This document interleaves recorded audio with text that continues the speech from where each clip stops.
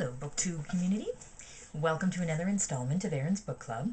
I've been holding up my books that I get in the mail so that when I do my book review or book hauls, they're a little bit longer than what they used to be. So this week alone, I got like five books, so I guess I'm ready to do a book haul. Um, if you notice, we're in a different spot. I got myself a new reading chair, which I am absolutely loving. So I've been spending half my time reading um, in here. So I figured I would do all of my videos in here as well. I just hope that you guys can see me and hear me okay, but we'll see once I get this video uploaded. So, let's do my book uh, haul for the week.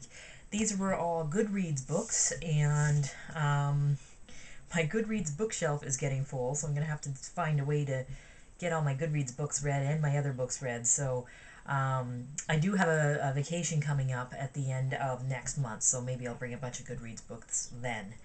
Anyway, the first book I got was Inspector Hobbs and the Blood by Wilkie Martin. I don't know anything about these books, so I'm just going to kind of show them to you.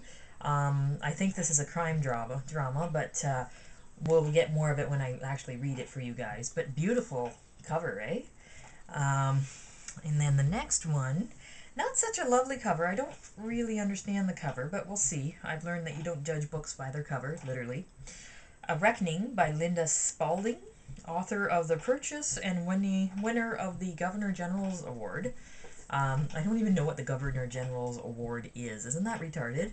Um, if you guys know what it is, let me know. Um, so The Reckoning, another okay title. Um, and this opens in the spring of 1855, so it's like a, a historic novel, I guess. And I love historic novels, so we'll see.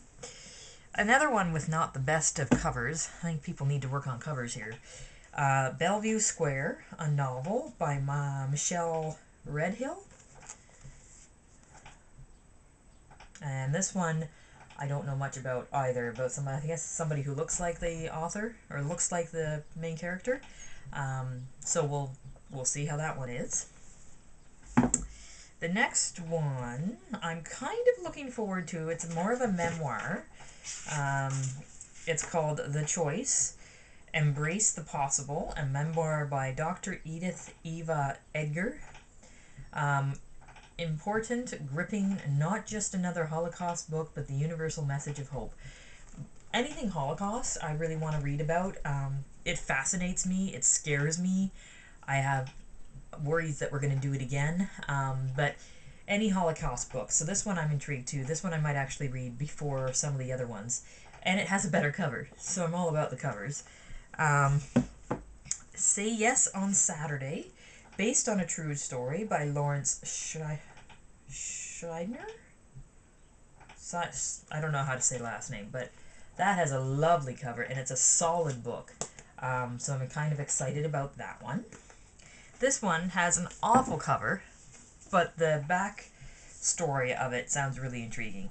This is the Fugue State by Pasha Malla a novel. It's about a fellow who does some traveling and gets amnesia, but it's more involved than that. But it's it's pretty intriguing, eh? Um, so those are the books that I got for this week. Um, and I guess I have no more news for you guys, but thanks so much for listening, and I'll talk to you when I have another book read. And with this chair, it'll be very soon. Thanks so much, guys.